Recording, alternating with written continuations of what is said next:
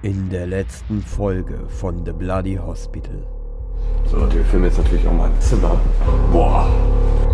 Ist aber ein Einzelbettzimmer, ne? Man kann das auch abnehmen sogar. Nein. Wir müssen auf jeden Fall aufpassen, ne? In den Neubau.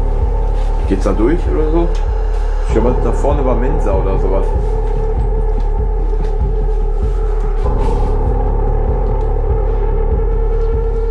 ...24 Stunden Videoüberwachung.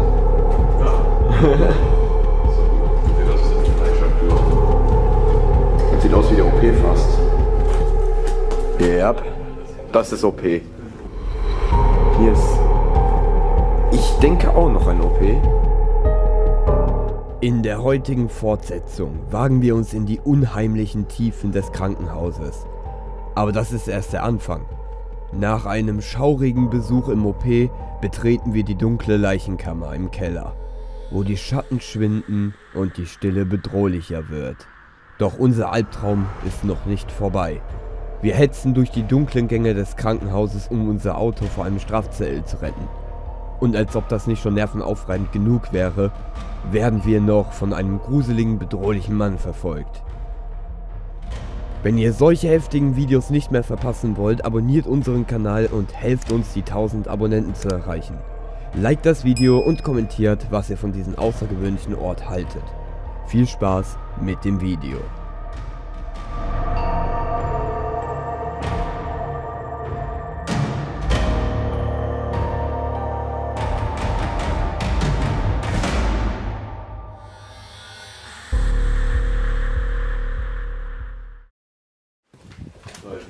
Großen, großen OP. Oh.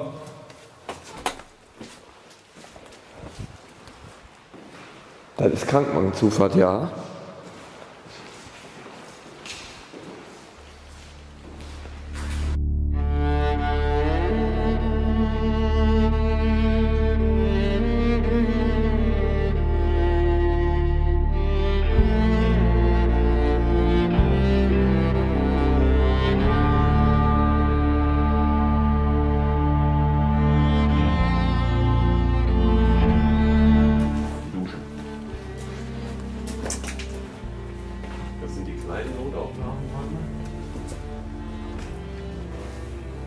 Aber hier, hier sind Bettenanschlüsse.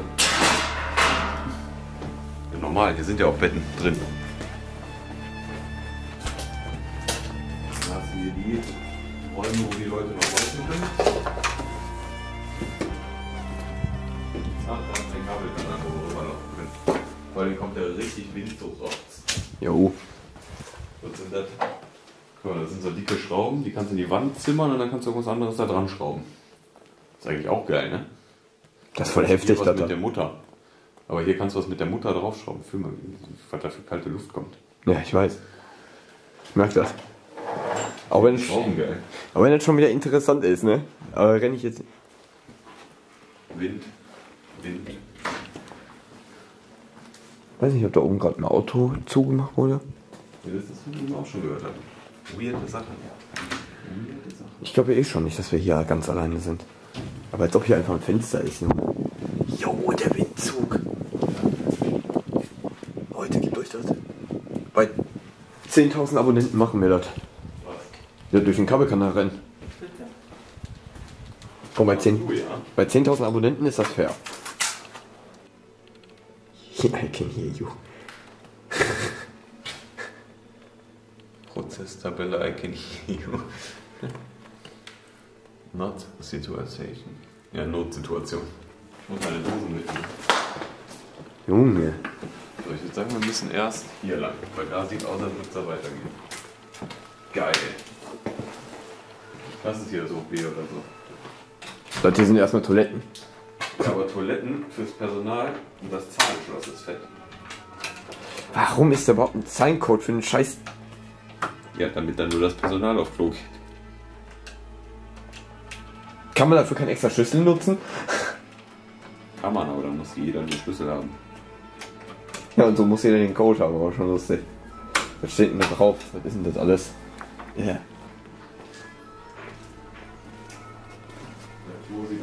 Lecker What the fuck? What the fuck?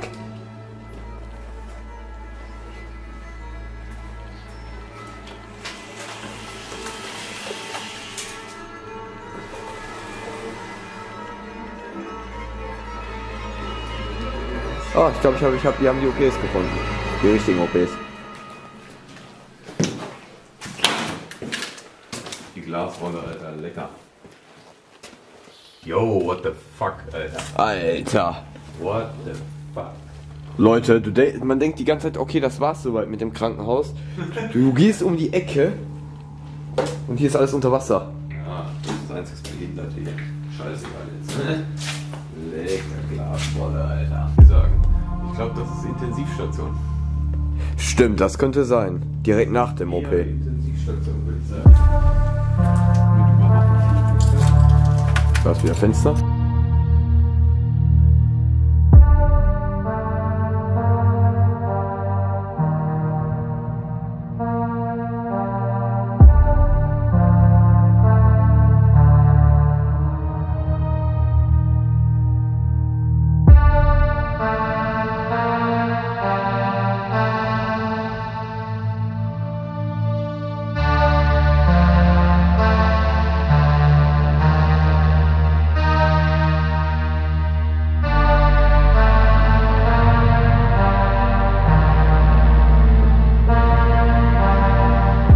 Nee, da ist Blut drauf auch. Äh, noch drin ist sogar richtig. Guck mal, da wurde von irgendjemandem wurde da Blut abgenommen und einfach liegen gelassen. Hammer, ne? Du siehst, man sieht hier, hier wurde noch von irgendjemandem Blut abgenommen, ich weiß nicht, einfach liegen gelassen oder so. Heftig. Könnte auch Stroke Unit sein, ne? Schlaganfallstation und sowas. Aber wir haben schon mal den spannendsten Teil gesehen. Ja. Außer gleich noch Leichenkammer. Das zählt noch, ja. Die müsste eigentlich hier unten sein. Na. Leute, das ist so ranzig. Und dann guck mal, hier ist Wasser. Guck mal, wie ekelig hier ranzig. Intensivstation. Ja. Ach, Andere Folie. Folie und dann Intensiv Sorgen. Bezukuren intensiv Sorgen. Das riecht hier alles nach Schimmel, ne? Hm, So auf Dauer nicht mehr. Also Leute, es ist echt eklig. Ich glaube, Wir müssen mal langsam nach oben. wir müssen mal langsam nach oben. Ansonsten breche ich hier gleich. Weil sonst breche ich hier gleich ab, weil das geht nicht mehr. Was willst du? Das der. Alter. Guck mal den Boden da. Boah. Alter. Kurva. Rauchhör. Aber gefühlt Partikel im Mund. Boah, jetzt riecht nur noch nach Pisse. Boah. Er wird nicht besser, Leute. Aber hier sind schon mal Medikamente und sowas alles. Leo, wir müssen hier raus. Sonst gehe ich komplett raus.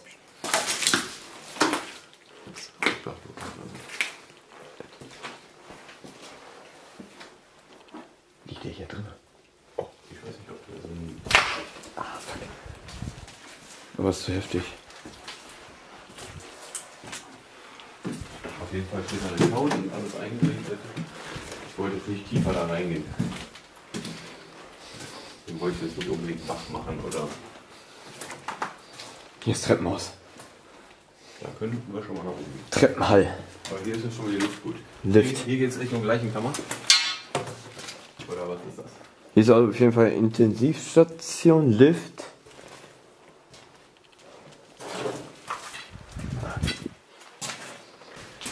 Das war zu viel mit dem Schimmel. Wir haben uns da viel aber- zu lange Aufrage aufgehalten. Du siehst, wo der Obdachlose sein äh, Zimmer da hat. Ne? Das ist halt äh, an dem wärmsten Punkt. Und da ist halt auch dann Schimmelbildung mit Wasser und Wärme. Werkstatt, guck mal. Kannst du auch Werkstatt. Mein Akku ist sogar gleich schon leer und ich befürchte, dass gleich die Aufnahme, äh, meine Speicherkarte schon voll ist, wegen für ein Lost Space. Also Leute, wenn das Lost Space zu lang geht, werde ich das auch in zwei teilen. Ja, Das war das, was wir auf den Bildern gesehen haben, dass das noch vorher besser aussah. ja, ja. Da meinen die ja, das lohnt sich gar nicht mehr hinzukommen. Nein, sieht trotzdem geil aus. Da werde ich auf jeden Fall einen Kommentar zu da lassen und sagen, dass alles offen ist, alles billig ist, aber im Keller ein Obdachloser wohnt und. Alles absolut voller Schimmel ist. Ja, unten, ja, das kann man auch noch. Das riecht nach Alkohol hier. Ja, das riecht nach dem vergammelten Kühlschrank da. Oder, der ist ja nicht vergammelt, aber es riecht nach altem Kühlschrank. Weiß ich nicht, das riecht irgendwie nach Alkohol. Also nach so Jim Beam oder sowas.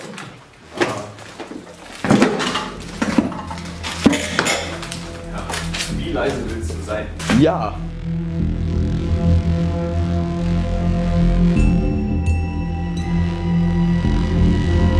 Dann gehen wir gleich nach oben, würde ich sagen. Oder? Ne, wir sind im sagen. Boah, da fängt auch schon der Schimmel an, ne?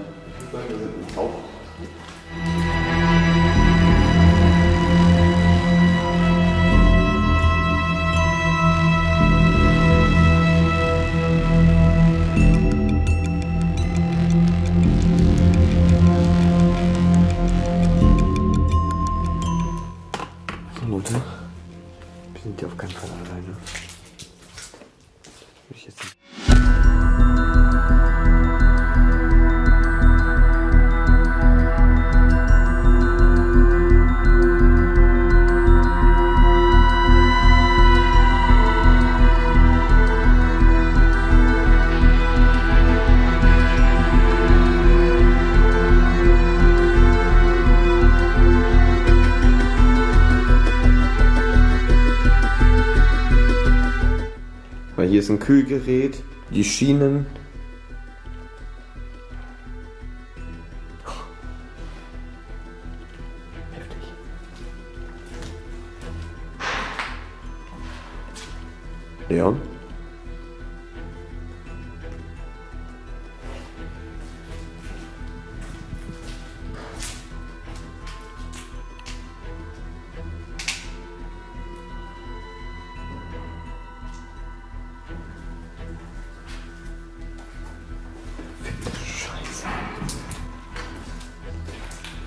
Das sieht aus wie ein ganz früher alter OP oder sowas. Ja. Da hat es gerade richtig laut an der Tür geknackt. Ich habe mich so dermaßen erschrocken. Siehst du, Manuel, ich glaube, von der Garage wären wir hier halt wirklich reingekommen. Da siehst du das Loch. Weil wir sind gerade in einer angespannten Situation. Wir stehen einem Krankenhaus in der Leichenkammer. Und Zimmer weiter liegt ein Obdachloser. Und Manuel musste gerade vor der Türe von dem Obdachlosen den Akku wechseln. Und ich denke, genau, Manuel.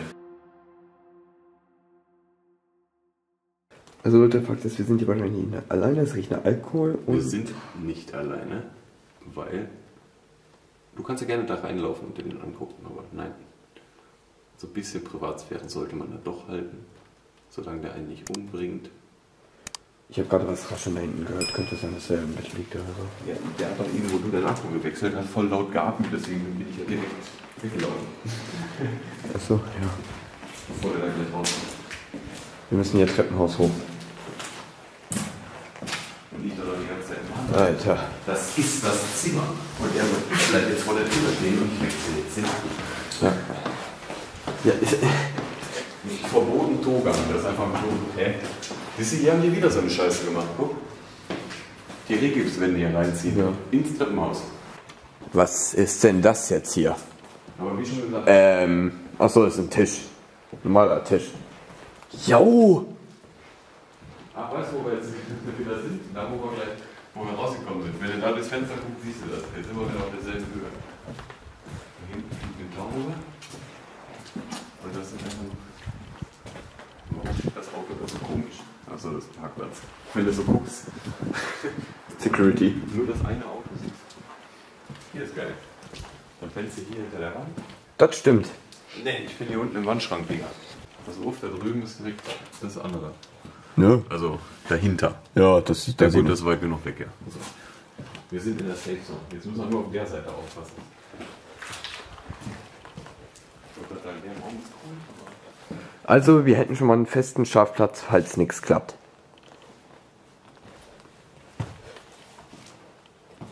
Falls wirklich gar nichts klappt. Aber ich glaube, dann sind wir auch schon wieder zu weit in Bel Belgien rein. Das sieht hier irgendwie voll wohnlich aus. Kann es sein, dass das hier so eine Reha-Teil ist oder sowas? Also eine eingebaute Reha im Krankenhaus? Weil guck mal, ob das. Hm. Das sieht nämlich hier sehr, sehr wohnlich aus. Also, das sieht jetzt auch nicht. Das. Das ist, Hä? Das ist auf jeden Fall vielleicht Privatstation. Könnte sein, ja. Privatstation könnte sein. Boah. Das ist aber schon gruselig, wenn du hier so bist, ne? Und wenn du dir bedenkst, ey, guck mal, du bist hier, ne? Und direkt unter dir ist einfach die scheiß Leichenkammer. Ja, wenn, das weißt du ja als normaler Besucher.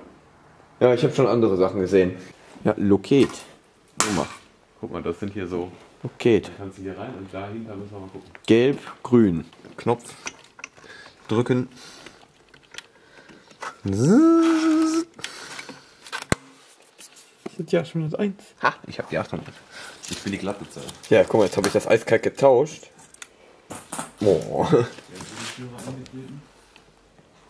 Mal. Oh, das sieht wohnlich aus. Ganz wohnlich. Parkautomat. Manuel, du musst dein Ticket ziehen. Ich habe gleich eh Angst, dass ich gleich einen Knuddel da hab. Ich habe gleich eh Angst, dass ich gleich einen Knuddel da hab. Ja, du musst aber hier einwerfen und dein Ticket für den Parkplatz ziehen. Ne? Hier, Wechselgeld. Wieder Penning. Penning-Automat. Hier vorne würde ich auch aufpassen mit Kameras gegebenenfalls. Weil das ist schon heißes Gelände. Ja, ich filme hier. Ja, genau.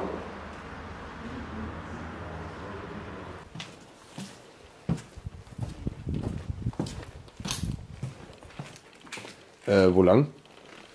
Weiß ich nicht. Ich weiß nicht, wie man hier rüberkommt. Ich Ach, da. Hier rüber. Da. Nein, geil, guck mal. Jo, geil. Rohkästen. Sieht nach BMZ aus. Ja, ne? Finde ich eigentlich auch. Heftig, Leute, bist ist das hier. Element. Da steht noch ein Schlüssel. Ja, mega geil. Und aber auch überhaupt nicht laut, ne? So. Boah, das sieht da heftig aus, jo. Ich nehme gerne mal hin. Sieht so nach ganzen Akten aus und alles.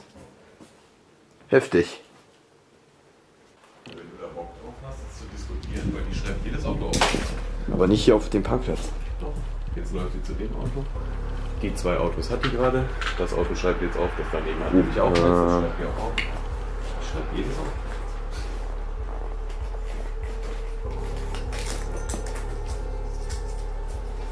Dann springe ich da hinten aus dem Fenster, wo die mich nicht sehen kann. Ja. Das ist, Leute, das wird jetzt die beste Aktion ever. Der muss das Auto wegfahren. Dann wartest du und kommt direkt. Ich fahr einfach einmal im Kreis hier ist doch gar keine Parkscheinpflicht auf dem Parkplatz. Wenn man hier runter ging, war da irgendein Fenster auf? Nee, ne? Nee. Doch, die Garage. Ja, ich kriege jetzt nicht da unten das letzte Loch. Hier kann man auch rausklettern, ne? Weiß ich nicht. Was war hier? Hier war das Garagendach. Äh, Das ist schon höher. Das ist schon behindert. Das ist schon noch behinderter. Mach mal ey. Lies euch am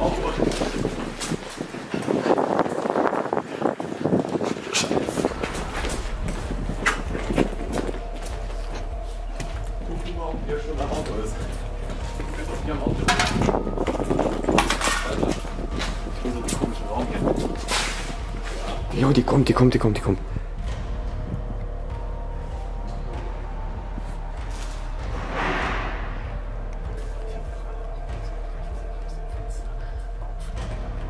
Hab ich gehört, wie laut das war.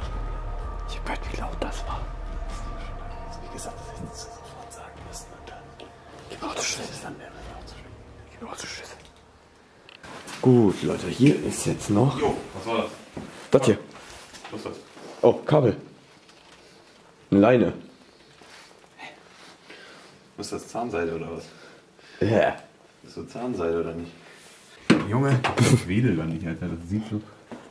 Sobald der Vorhang sich dann wieder nicht bewegt, siehst du sofort alles. Da steht tatsächlich ein Parkscheinautomat auf dem Parkplatz, glaube ich, aber Nee, die stehen davor. ich weiß nicht, was das Schwarze hier links ist. Die sind davor. So, warte mal. Ja, da gehen wir jetzt. Nee, bitte nicht. Irgendwann kann ich auch nicht mehr. Ich würde sagen, wir gehen hier nach ganz unten, weil da kommst du nämlich, glaube ich, dann auch wieder raus, weil da ist die Notaufnahme. Warum nehmen wir eigentlich das komplizierteste Jo, Junge. Wer hat hier Langeweile gehabt, ist die Frage. Das ist ein riesen rundes Geländer. Erstens, wo kommt das her? Zweitens, Nee, das ist gebogen. Das wurde gebogen. Das ist nicht rund. ja gut, aber trotzdem. Ich habe gerade wieder Schritte von der Etage gehört.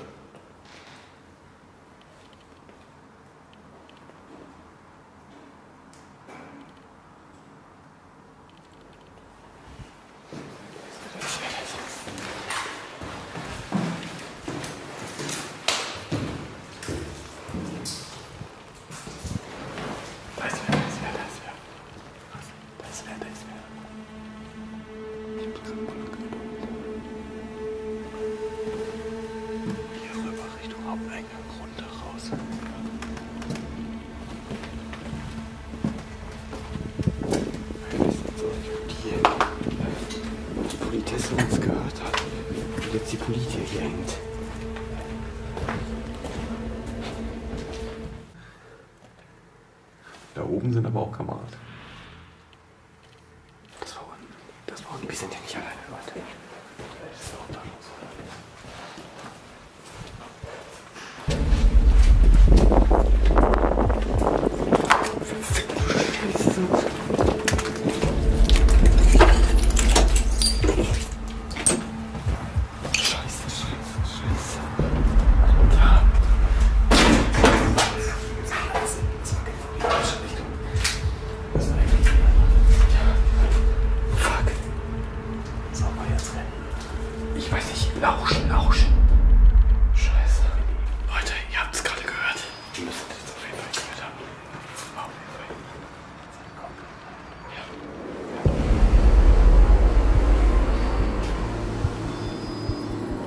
Wir müssen zugeben, wie ihr auch an meinem Blick seht, wir hatten noch nie so eine Angst wie in diesem Moment. Wir wussten nicht, wer uns verfolgt und wir wussten nicht, ob diese Person möglicherweise bewaffnet ist.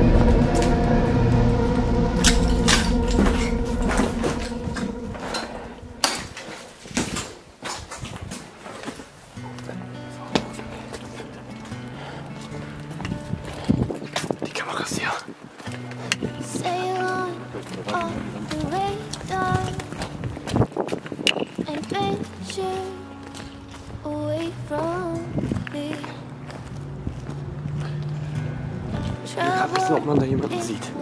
Da war aber zu. Doch, ich wäre da auch gerne. Ich wäre da auch noch gerne ein bisschen gewesen, aber irgendwie, aber irgendwie war in der zweiten Etage. Oder dritte war das, ne? Dritte. Warte, Erdgeschoss ist das hier. Erste, zweite, dritte. Ja, wahrscheinlich, Wir waren alle drüber. wo wir gesagt haben, was ist das Komisches da im Weg? Also das hätte ist ja noch was von geworden. Leute, Du, du wolltest dir schon, keine Ahnung. also Leute, das war's auf jeden Fall mit dem Video. Ich danke euch vielmals, oder wir danken euch fürs Zusehen. Wir mussten jetzt leider am Ende abbrechen. Ja, das war eine. Oder, oder waren die beiden da? Die sind hier durchgerannt und deswegen ist hier alles so behindert gewesen. Dann wünsche ich euch alles Gute und lasst natürlich ein Like und ein Abo da. Ciao. Der Tod ist nicht das Ende, nicht die Vergänglichkeit. Der Tod ist nur die Wende, Beginn der Ewigkeit. Ein Krankenhaus ist grundsätzlich ein trauriger, aber auch ein fröhlicher Ort. Menschen werden dort geboren, um zu leben und um zu sterben. Es ist ein Haus des Lebens. Statistisch gesehen werden mehr Kinder in einem Krankenhaus geboren, als Menschen sterben. Dennoch mögen wir keine Krankenhäuser aufgrund unserer Zukunftsängste, wo wir landen, bevor es zu Ende geht. Am Ende des Videos wurde es nochmal richtig spannend. Oder auch gesagt beängstigend. Plötzlich kamen Geräusche auf und wir wurden verfolgt. Auch wenn man es leider nicht sah, er kam aber auf jeden Fall die Treppe hoch. Nachdem wir am Fronteingang waren, haben wir den Mann oben am Fenster stehen sehen, wie er uns angeschaut hat. Die Videos waren eine Menge Arbeit. So lasst gern ein Like, Abo und Kommentar da und vergisst die Glocke nicht. Ciao.